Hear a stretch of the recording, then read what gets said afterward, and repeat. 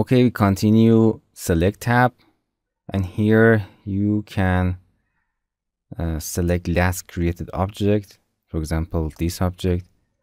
You, for example, create a cube here and this is your last created object and you can select it. For example, select this, select this, select this, and you can here select previous selection. Previous selection of your last selection. Here you can select by object name. As you can see, if you select any object here, we can uh, type any name that you want in any object. Just object. As you can see, we have object and here you can click select by object name and the window will be open and you can these are no name all of this option uh, object are no name but I rename it here. Select object in its properties. You can select the name of the object.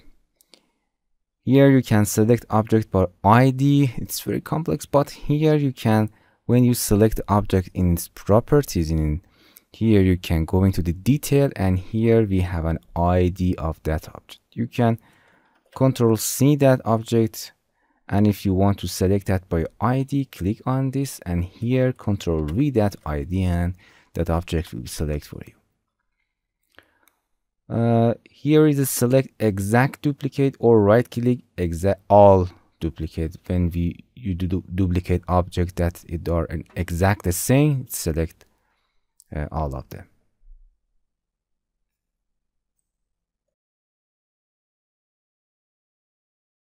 Hello my friends, to continue these tutorials on YouTube, subscribe us, like us, and hit the bell icon. And now, you will be alerted about all of the amazing videos that we release.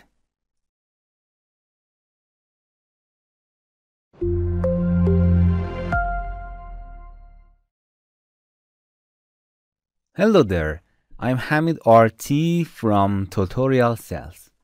I'm electrical engineer and software instructor. I love teaching and learning.